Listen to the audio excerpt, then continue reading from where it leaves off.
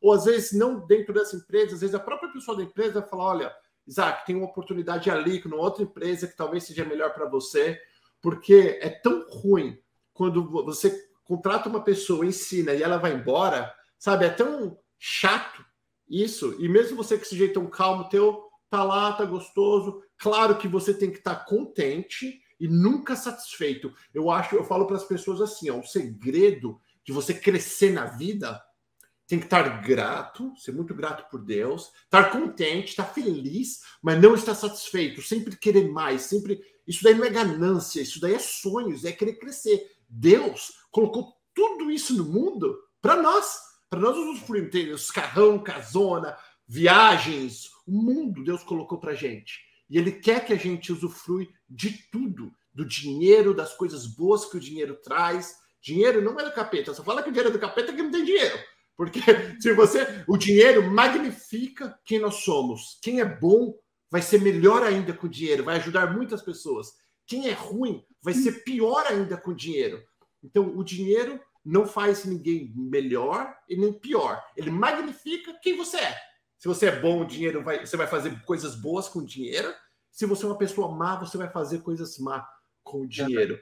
Né? Então a gente tem que estar sempre feliz e contente, mas nunca satisfeito na vida, em modo geral, em ser uma pessoa melhor, ajudar mais o próximo, querer mais, né? E sempre ter objetivos. Porque o dia que a gente para de sonhar, o dia que a gente para de ter uma meta, de ter um gol, é o dia que a gente vai morrer. Você pode ver, todo mundo que para de trabalhar, que, que retire, é, aposenta, envelhece e acaba morrendo. Fica velho, fica chato. Né? A não ser se ele envelhece, se ele, se ele aposenta, mas tem netos, pega as crianças, vai passear, sabe? Faz coisas da vida. Você tem, a gente tem que estar sempre ativo nessa vida. A vida que, que é curta, né? Que hoje você está com 30 e 30, 34, 30, daqui a pouco está com 45, que nem eu. Daqui a pouco eu vou piscar o olho, eu vou estar com 50 daqui a pouco meus filhos tudo casado, né? E o que, que eu vivi, o que, que eu fiz, o que eu deixei, qual foi o meu legado, né? Quando eu morrer, quando vocês morrerem, quando falarem quem foi o Isaac, quem foi a Charlene, o que, que você quer que eles falam para você, no, no, né? Falam de você no velório, o que os seus amigos falam de você. E tudo isso a gente precisa pensar todos os dias, né? Para a gente saber como agir nesse mundo. Vocês estão indo na igreja, bacana, eu vou na igreja também. Né? Hoje em dia a gente vê cada vez mais as pessoas se afastam, ninguém fala de igreja, ninguém fala de Deus. Pelo contrário, Deus está na vida de todo mundo. Igreja é bom sim, é muito melhor do que um boteco. Eu falo para você, é muito melhor a igreja do que um bar.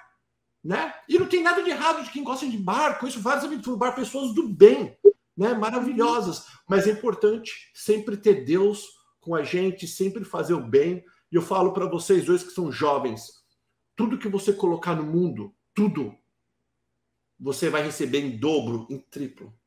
Desde que seja uma curtidinha que você deu negativo, vai voltar para você. Se você não gosta de um, do vídeo, se você não gosta do negócio, sai fora, muda de canal. Não tem que ficar falando, ficar colocando coisa negativa no mundo, né?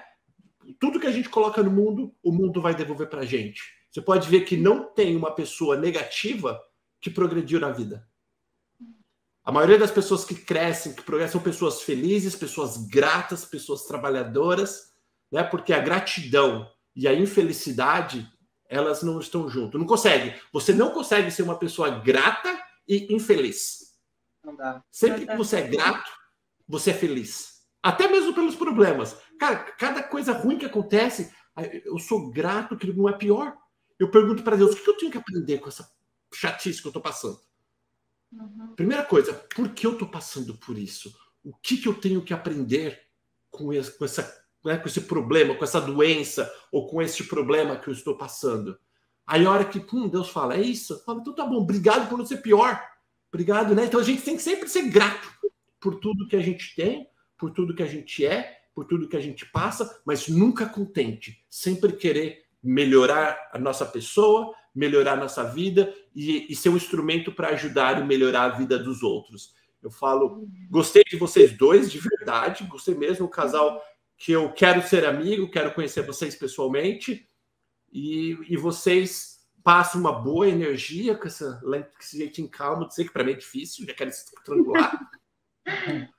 Mas vocês parecem ser um casal bem bacana e espero que vocês consigam ter, consigam ter filhos, né? Quando tiver que ser. E se não conseguir, adota que está cheio de criança precisando de pai e mãe que dão carinho, que dão amor. Então não tem nada de errado nisso também. E depois a gente come os gatos e faz um chugatinho.